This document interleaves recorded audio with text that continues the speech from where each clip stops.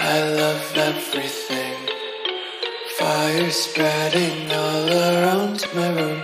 My world's so bright, it's hard to breathe, but that's alright.